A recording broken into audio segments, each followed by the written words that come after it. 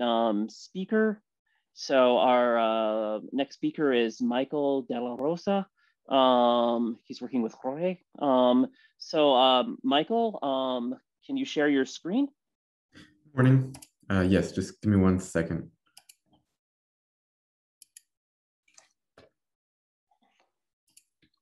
Okay. Oh, okay, perfect. Um, and again, we will warn you um, at the um, eight and 10 minute mark. Um, please begin. Thank you very much.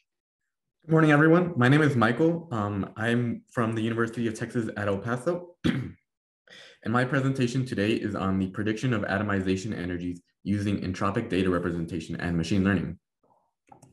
So a brief outline before I begin. Uh, first, I'll give you some background about, uh, first of all, the problem of data representation and then Gentropy, which is the solution to these problems, and some of the machine learning techniques that we, we ended up using, and then a comparison of the results versus previous results. And then finally, a little bit of a discussion on those results.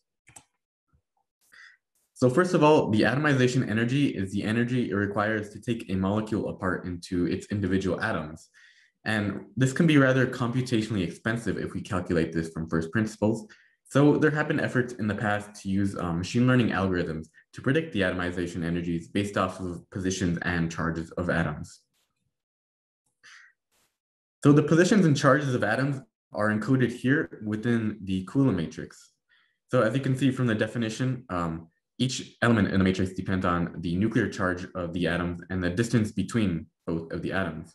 And this is just an example for ethene, a simple carbon-carbon double bond with four accompanying hydrogen molecules in it. So there are a couple of issues with the Coulomb matrix in this form. So first of all, the size of the matrix depends on how many atoms are present in the molecule. So if you look at it here, ethane is a six, molecule, six atom molecule, so it's a six by six matrix. So this means that it can vary depending on how many atoms you are, and it can make it a little bit difficult to compare different molecules of different sizes. So there's a, a rather straightforward solution to this by just introducing dummy atoms with no charge. So essentially, you just add zeros into the matrix to kind of standardize the size for all of the matrices. The other problem is a little bit more difficult to deal with, but it's that there's no well-defined ordering system for these matrices. So if we look back, so since ethene is a rather simple molecule, um, it's rather symmetrical and then it, it exists in a 2D plane because of the carbon-carbon double bond here.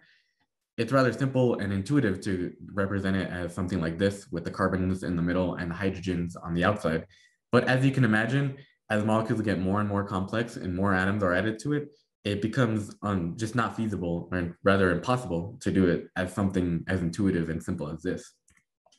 So in order to account for that, you're going to need to use different, um, or you're going to need to account for this or lack of an ordering system.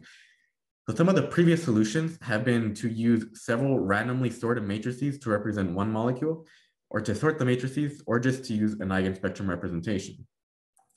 So we introduced a novel information entropy metric in order to solve uh, the ordering system and the lack of um, size similarities. So we call this Gentropy, and it is the information entropy of a mathematical graph, which we invented. And as you can see in this definition, the probability of this is the occupation probability of a node. And the occupation probability is based on how many edges are connected to a single node and the weights of those connections based off of or in relative to all of the uh, edges in the whole graph itself and their weights. And it's essentially the probability of occupying one of these nodes. So we can use Gentropy as a form of data representation uh, for regression problems that involve graphs. So in order to use Gentropy for a data, re data representation in um, a molecule, we need to create a mathematical graph off of the molecule. And th to do this, we use the Coulomb matrix as an adjacency matrix. And then we create a complete graph, kind of like you see here in this image, where all of the nodes are connected to each other. And instead of the connections being based off of bonds, uh, they're based off of, uh, since it's coming from the Coulomb matrix, they're based off of the atomic charge, um, the nuclear charges of each of the atoms and the distance between each of those two atoms. So once we generate a graph like this, we can find um, both the total gentropy and then the gentropy per atom, which is what we'll be using for um, the input data for the machine learning techniques. And then as a result of um, it coming from the graph, it's unaffected by the ordering or the size of the matrix. So it does account for the problems. So the data set that we used is called the QM7 dataset, which has around 7,000 organic molecules of up to about 23 atoms. And each of these has atoms of, um, it's composed of atoms of carbon, nitrogen, oxygen, sulfur, and hydrogen. So for each of these molecules, it has the Coulomb matrix, coordinates, and charges of each atom and the atomization energies of the molecule. So some of the techniques that we used were stochastic gradient descent, k-nearest neighbors, uh, neural networks, uh, specifically a multi-layer perceptron with two layers in it, and kernel regression using a Laplacian kernel. So the methods were to uh, first separate 90% of the data for just the training algorithms to use, um, or randomly selected as well. And then we would train the machine learning techniques on that data and then uh, end it by testing on the remaining 10%. And then afterwards, we would optimize our um, algorithms by conducting a grid search. So we would essentially choose a range of the um, parameters of each of these models and use the one with the minimum for the root mean square error and mean absolute error. so one of the better performing uh, methods was k-nearest neighbors, and it was uh, computation the most cost-effective method tested. And it did have the largest improvement using the gentropy per atom in comparison to the other mechanisms that I mentioned earlier. And as you can see here is a little bit of the optimization uh, comparing with mean absolute error and root mean error versus the neighbors. And you can see at three for both of these, three nearest neighbors seems to be the most effective. So uh, here's a side-by-side -side comparison of k-nearest neighbors and neural network. So as we can see in this graph, uh, we have a given entropy of a molecule, and then we have both the predicted atomization energy based off of the algorithm and the actual atomization energy that is present there. And you can see they both perform quite similarly, um, except uh, some of the L layers here have a little bit of problems here.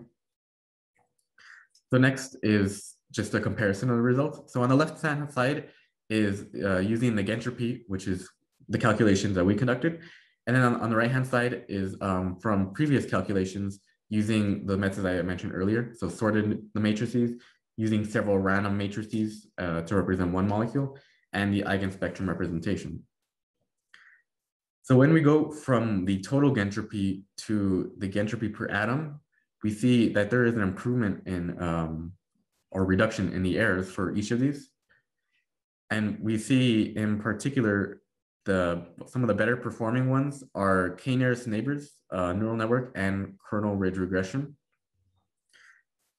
So we see that these three um, at the end, especially for the entropy per atom, perform similarly uh, at essentially the same level. But if we look at k-nearest neighbors in particular, we see that uh, there is quite a significant improvement versus the other sorting matrices or the other representations. We see even in the total entropy, the less effective method, we outperform both the sorted matrices and eigenspectrum representations. And using the entropy per atom, there is quite a significant improvement um, between both of those two. Although we do see neural network and kernel ridge regression aren't quite as effective as these other sorting mechanisms. So as we can see from this, uh, Gentropy is a novel method of uh, data representation, and it does improve on some of the limitations of the Coulomb matrix in this form. And in particular, it seems to be more useful for the basic methods of machine learning, such as k-nearest neighbors. As you can see, it significantly did outperform the other methods of data representation. Although it does seem less effective for some of the more complex methods, such as neural networks, uh, although there is some room for optimization in those um, instances. So in the future, uh, we could perhaps conduct a more comprehensive overview of Gentropy's performance perhaps using other machine learning algorithms and uh, more complex neural networks and further optimization with them. Uh, and alternatively, we could also apply Gentropy to other machine learning tasks rather than just regression based off of the um, Coulomb matrix itself. And we could do something, for example, unsupervised learning, such as the clustering of data uh, based off of a given um, Gentropy value that we can calculate from them. So um, this uh, concludes my presentation. Uh, I would like to thank my uh, co-author, Dr. Jorge Munoz, and um, the audience for listening.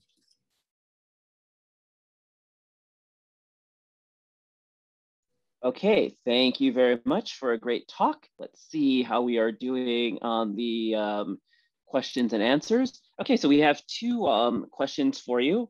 Um, so one is, can you comment on the isogentropy surfaces at varying occupation of the sites? Is there a feeling on what configurations map onto the same value of gentropy?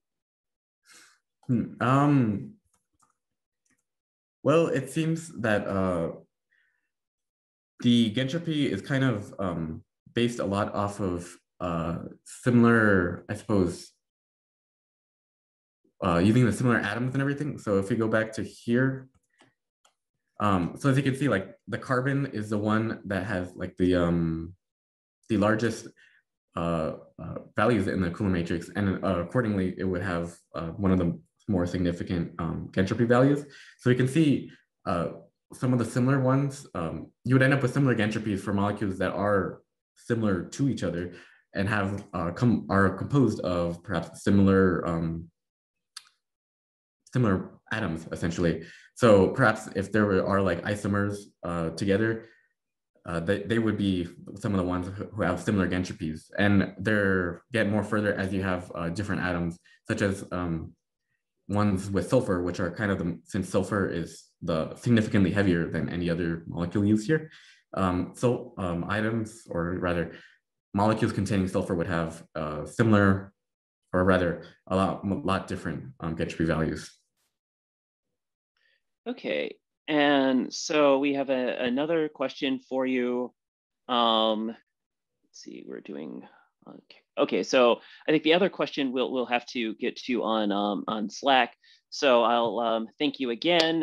Um, good talk. Um, again, I'll post the other question on Slack. If you can stop sharing, then we'll go on to our um, next um, speaker. So for the next um, speaker is Dr.